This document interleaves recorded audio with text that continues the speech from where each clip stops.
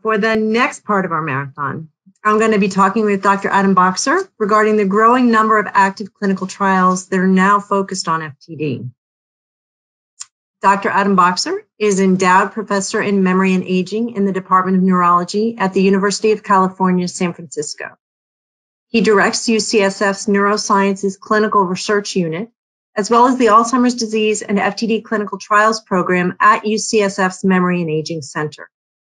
Dr. Boxer's research is focused on developing new treatments and biomarkers for neurodegenerative diseases, particularly those involving the proteins tau and TDP43. He's a principal investigator for the All FTD Network, which we just heard about from Dr. Ghoshal, and he co-chairs the FTD Treatment Study Group, which is an academic industry collaborative run by AFTD that is working to speed the development of new therapies for FTD. Today, Adam's arguably the global leader in developing FTD clinical trials, and it's a true pleasure to welcome him here with us this morning. Thank you for the very kind introduction. Um, and today I'm going to talk about uh, clinical trials, which and it's a really exciting time for us in FTD research because we really have, for the first time, I think, therapies that seem like they uh, could represent a, a, real treatment or potentially even a cure for certain types of FTD. So uh, let's see. My slides will advance. Okay, good. um, so hopefully you can see my next slide. And what I wanted to just tell people about is, um, you know, there's a lot of work that goes into figuring out whether a new treatment works or not. And many of the new treatments that we are developing have come out of laboratories of our scientific colleagues. And they look really promising uh, in the laboratory, but we still don't know whether they're going to help people with FTD or people at risk for FTD. And so we can ask in general, what evidence do we have that a drug works or helps people. And so when we start out, if it's a new treatment, um, we really have no information. And as far as we know, it could make people worse theoretically or it could hopefully cure the disease. So how do we weigh the evidence that we get and how, what kind of evidence do we look at to decide whether a new treatment uh, will work for patients with FTD? Well, probably you know some of the worst and least valuable evidence might come from uh, certain characters that we hear uh, not infrequently, and that might even steer us uh, in the wrong direction. But sometimes, and really, this comes from patients. Uh, we you know may see some someone may see an internet story or hear about a a, a, tea or an herb that's a traditional remedy. I, have had patients who've read about things in religious texts and said, you know, is this going to be a cure for FTD? And that might be some evidence, but it's probably not the strongest evidence. Um, we would probably weigh evidence uh, if if a drug or a treatment is coming from something that makes sense from what we know about the biology of FTD, or partic- particularly if there's evidence from a, uh, an experiment in um, cell culture or, or test tube models of FTD, we might feel that a drug is even more promising. Uh, and we, we feel even that a drug uh, has even better evidence behind it if there has been an animal model that uh, the drug has been tested in, and there are now quite a number of animal models that we can use that seem to uh, produce a disease that look like FTD, and we can use to develop new FTD treatments. sometimes one of these drugs has even been tried in one or two patients, and anecdotally we heard it made them better, and that might make us really excited to start thinking about, you know, whether we should study a drug more. It's important to say, though, that um, uh, we hear many times about uh, drugs that cure animal models of Alzheimer's disease. Uh, some my one of my colleagues calls it Alzheimer's disease or FTD. And in fact, we've cured animal models of these diseases hundreds and hundreds of times, but so far none of these drugs have worked in humans. So still, we don't think that this type of evidence is sufficient to say that a drug works for people. So what we really need are clinical trials. And um, one type, uh, so initially we often do small clinical trials where we're looking for a biological effect in humans, something with humans with something we call a pharmacodynamic effect. And when we do that, we have something called proof of concept. And what that means is just that the drug does something in humans biologically that we think is going to be helpful, even if we don't know in the long term whether it's a good drug. And what we really need to do is to do a large clinical trial or a larger randomized clinical trial, which means that people might get placebo or the active drug to, to really understand whether a drug works. And in fact, in the US, uh, to get a drug approved for to treat a disease like FTD or, or another disease, typically the U.S. Food and Drug Administration or FDA tells us that we have to do two clinical trials that are large enough that really we can show definitively that a drug makes people better as compared to placebo. So I, you know, I it's important just that we're all on the same page about what we uh, call a clinical trial. So I just want to get some definitions out of the way. So one, so what what is a clinical trial? Well, uh, the, the definition of a clinical trial is that it's a scientific experiment that tests hypotheses regarding the effects of an intervention. And an intervention, you know, I, I typically am talking about drugs, but it could be a lifestyle modification a change in people's care management. And the clinic and this scientific experiment is going on in humans. So we're not talking about animal research. We're not talking about test tube research. A clinical trial is a scientific experiment in humans. And typically we, we strictly define results of a clinical trial as either positive and that means that the, the clinical trial confirmed our hypotheses. And usually we think about in later stage clinical trials, we, we hypothesize that the drug works. So if the, the clinical trial is positive, then the drug works. If the clinical trial is negative, then the drug didn't work. And Unfortunately, what we often see is that, well, we're not really sure there was a problem with the clinical trial. We couldn't tell for sure. Maybe we, we learned halfway through the trial that the people who we were including were not the right age or they were on another drug that blocked the effects of our treatment that we were testing. And so often we get failed clinical trials where the results are inconclusive and we have to do another clinical trial. So for new drugs, and what I'm going to tell you about today are really exciting new drugs that are developed for people with FTD in most cases. Um, we have to do this in the United States, but there are comparable um, legal requirements in other countries as well, um, uh, where the Food and Drug Administration uh, requires the uh, new drug to be registered and it's very carefully regulated under something called an investigational new drug uh, application process or an IND. And um, if the clinical trials uh, under that process are clearly positive, like I said, two clinical trials are the classic requirement, then uh, they, there is a label that's written on the package and, and you're allowed to prescribe the drug. Um, one of the things that is uh, really uh, becoming a challenge for many different diseases is that uh, the the Food and Drug Administration is actually mandated by law. So just like any other part of the federal government, they have to follow the laws that are written by Congress and and administered by the executive branch. And one of the laws says is that patients have to have a voice in the approval of medications or new treatments. Uh, and so the, the FDA tells us that the clinical trials that we do that show that a drug works have to produce what they call a clinically meaningful benefit. But you know that that can really be open to interpretation, and this is where your voice, as patients, as families, as friends of people with FTD, is hugely, hugely important. And um, we, you know, the, the people who are reviewing these trials in the government often don't know anything about FTD. And so they may make assumptions, well, this is a meaningful benefit or not. But the only way that they can really know the truth is if all of us, and particularly patients, because that's what the law says, patients and families have to have a voice in the approval, need to tell the FDA. And what we've seen in other diseases, like particularly Lou Gehrig's disease or ALS recently, but also many other diseases, is that um, if patients and families and the community and advocacy groups are very vocal with the FDA and band together and really, really um, clearly tell them that, it, that it's important to approve drugs and that we find certain things to be clinically meaningful, then they have to listen because that's the law. But if we're not vocal, if we're timid and we let them tell us what to do, that makes it much harder for us to find treatments. So I can't emphasize enough, and I think Susan may touch on this later, that uh, we really have to be aggressive. We have to advocate for ourselves and for our patients and for their families if we want these drugs to be approved. So um, one of the things that we're doing now is that um, many of the early clinical trials that are coming up in the next year or so are already underway, are in genetic forms of FTD that are incredibly rare.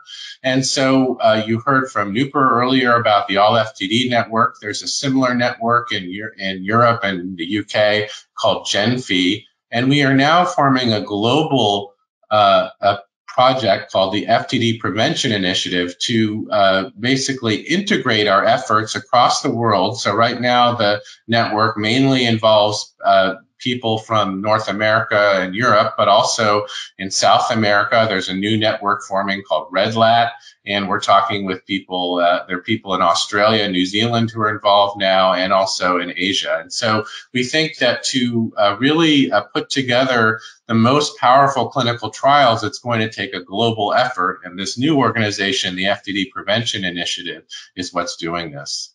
So um, here I'm going to show you some actual hot off the press research results from the FTD Prevention Initiative. And uh, this work was actually supported by the Association for Frontotemporal Degeneration. So thanks AFTD, thanks Susan.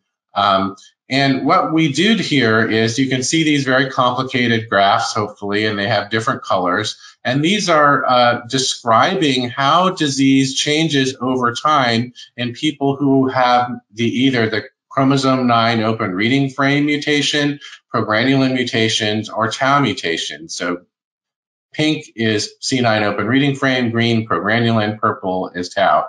And at these graphs on the top, you can see the GenFI is the European network and all FTD is the North American network.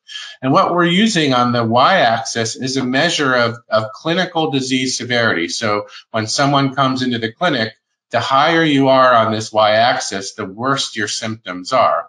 And on the, the x-axis, we're using a very sophisticated mathematical model to integrate all the data, and this is data from clinical measures, from uh, brain imaging, from other sorts of measurements, to, to gauge where someone is in the course of their disease. And what you can see is that people who have mutations uh, go for many years without symptoms, but right around the onset of their symptoms, they start to, you know, slowly develop symptoms. And then over time, uh, the symptoms over the next, you know, five to 10 years really accelerate quickly. Uh, and it depends, it differs a little bit by what type of mutation you have. And the, each of these little dots and small lines are individual patients who we followed through all FTD or through the European network. And um, what we see is that in, in, no matter where you look in the in the world so far, in Europe or in, in North America, people with these different forms of FTD really behave the same. So this is a really, really important type of uh, uh, insight that we've gained from studying people around the world and that is that uh, that um, you know people tend to progress at the same rate, and if we test a drug, let's say for progranulin, uh, that we could we could expect to see the same effects in people around the world. So we're really excited about this, and this is helping us to do clinical trials. Another thing we've learned from this uh, work is that we now have a new blood test called neurofilament light chain, and it's just a research tool. It's not something that your doctor can order for you, and it's not clear how helpful it would be as a clinical test yet. But uh, in the research, what we can see is that this blood test changes um, uh, when people get sick. You can see the levels go up. But importantly, here's zero here. So zero is when people first have clinical symptoms. And the blood test levels, particularly you can see in progranulin mutation carriers, but in all the mutation carriers are going up before they have symptoms. So this is where they have symptoms, but here they're starting to go up above above this baseline. And so this is another really exciting advance that suggests we can start to see changes in people before they actually have clinical symptoms. And this gives us the opportunity potentially to intervene with a drug during the stage before people have symptoms to hopefully prevent disease. And that's why we call this network the FTD Prevention Initiative, because eventually what we want to do with our clinical trials is to prevent symptoms. So, um, you know, uh, genetic forms of FTD that I just talked about, C9 open reading frame, progranulin, tau mutations, are uh, rare and they account for less, probably overall, less than 50% of FTD. And we call the other form, the more common form without a clear genetic cause, sporadic FTD. And in all FTD, we are studying both familial or genetic forms of FTD and sporadic FTD. And we think that um, many of the early clinical trials that we're going to do, in fact, you'll hear, are in these genetic forms of FTD because we understand a lot more about them from the, for, for example, from the work that I just showed you. But eventually, what we think is that if we find a drug that works in these genetic forms of FTD, it, some of these drugs will also work in sporadic FTD. And even if the exact drug doesn't work, we're going to learn a lot about how sporadic FTD actually operates. And that's uh, from studying the genetic forms of FTD. And that's going to help us to further develop treatments for sporadic FTD. Now, this isn't to say we can't do trials now in sporadic FTD, but some of the most exciting trials that are starting up will be in genetic FTD. And so, why do we think we can learn from one form of FTD and apply it to the other? Well, this is uh, some research from our All FTD network, and these are brain scans. And the blue stuff here that you see are regions where there is loss of tissue in genetic forms of behavioral variant FTD. And in the bottom panels here, this is uh, sporadic forms of FTD, and, and they look pretty much identical. And so this gives us great confidence that anything we learn from genetic FTD can likely be applied to sporadic FTD. So what's going on now with clinical trials? I said, and Susan said, it's a really exciting time. Well, there's a lot starting up and more to come.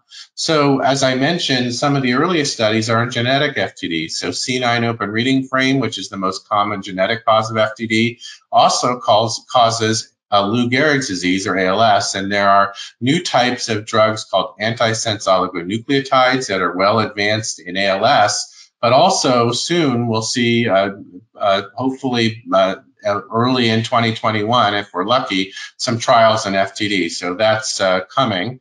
And uh, for progranulin related FTD, there is now a, a drug uh, that's called an anti-sortilin monoclonal antibody that's in the final stages of testing for progranulin FTD. And another exciting thing is that um, this genetic deficit may be correctable with gene therapy. And we expect that possibly even by the end of this year, there may be new uh, clinical trials in progranulin of gene, ther- gene therapy approaches that could correct this genetic deficit in living patients with FTD. Uh, tau mutations are, uh, are another cause of FTD, and while there are currently no trials going on, um, we are actively working with uh, some very exciting drugs to plan clinical trials through this global initiative called the FTD Prevention Initiative.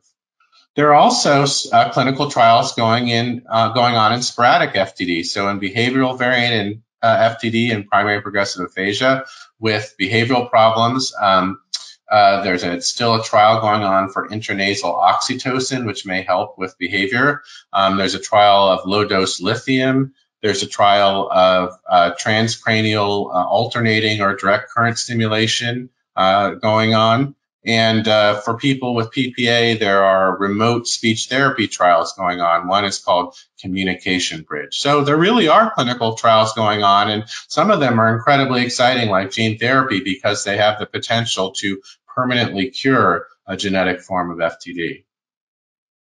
Um, I often get questions, and I think many of us physicians are get contacted by shady people around the world. And unfortunately, there still are charlatans who are trying to say that there are treatments for FTD out there and for other diseases um, that you know are, are going to help when they really aren't, and they're really um, false and just a money making effort, and one that many of us have heard about. In fact, I got an email from a company trying to convince me to be part of a clinical trial is for stem cells. And while we think stem cells eventually may be something interesting, the current things that you see for mesenchymal stem cells are actually known by the FDA and by researchers not to be uh, true, real clinical trials because they ask people to pay to be part of a trial. So a real clinical trial that you might want to participate in uh, shouldn't ask you to pay for it. And also they're not done under FDA uh, supervision. So just be careful that if you have a question about a clinical trial for FTD, that if it seems something like this, then it might not be reputable. And with that, I'll, I'll I think I still have a few minutes to take questions. You do, Adam. That was great. Thanks so much. And again, as I said to uh, Dr. Grossman, who is our first uh, session lead this morning, um, there's so much more to talk about now than we had even five years ago. It's just tremendously exciting and hopeful. Um, I'm wondering, I, I know that uh, to stay informed, a lot of our people go to clinicaltrials.gov and, and there and when they enroll in a study directly, they're going to hear about things called exclusion and inclusion criteria. And I'm wondering if you could just address those terms briefly. Yeah, so um, all clinical trials uh, have these things called inclusion and exclusion criteria, and that means they just define who can actually be in the clinical trial. So, for instance, if we're doing a trial of a progranulin therapy, it, we can only test the therapy in people who have progranulin, who have FTD due to progranulin mutations, and so that's an inclusion criteria. And if you don't have a progranulin mutation, you can't participate in that trial because it doesn't make sense. The drug is trying to treat progranulin deficiency, and so that would be an exclusion. And so there's always a list of inclusion and exclusion criteria for any trial. Great. Um, another question. Is there progress in the research into biomarkers or diagnosis that'll make it easier for people to know what pathology underlies their disease? And obviously, especially for people who don't have a genetic mutation.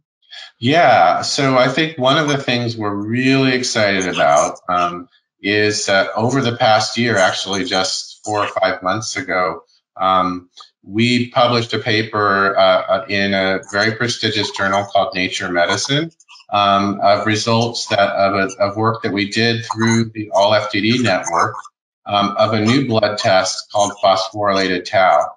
And this blood test is incredibly good for um, diagnosing Alzheimer's disease. So you may be asking, why am I talking about Alzheimer's disease blood test uh, for FTD? But it turns out that uh, as clinicians, that's often a huge question that many people with FTD are often misdiagnosed as having Alzheimer's disease. And that's a big problem for our clinical trials because we don't want to include uh, people with uh, Alzheimer's disease in our clinical trials. And often many doctors in the community aren't sure whether something's uh, Alzheimer's disease and FTD.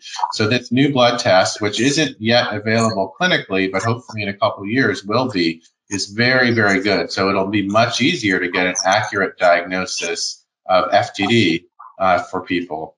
Um, you know, there are different forms of FTD that are caused by different proteins, tau or TDP43, and um, we're working on blood tests and other tests for this. Still don't have anything that that is really, really good for that, but I think it's coming. Great. Um, the next person says, uh, not everyone in a drug study gets the experimental drug.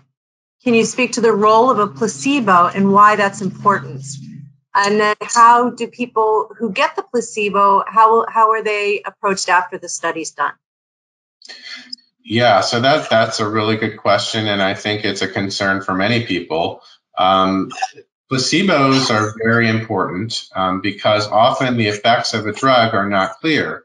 Um, it may be something very subtle, and yet it may be something subtle but still clinically meaningful. And so, if we don't have a placebo, it's hard to know what the effect of the drug really was. Um, sometimes just being in a clinical trial and interacting with all the staff can make people do better. So to really understand whether it's the drug that's helping someone or just being in the clinical trial, um, having the placebo is important. And conversely, sometimes people have side effects or what we think are side effects. So sometimes somebody might get nauseous after taking a drug. But unless you have a placebo group, you wouldn't know whether it was really the drug that was causing that, or maybe it's just that that person, you know, had, ate something bad for breakfast. We don't really know. So um, that's really important.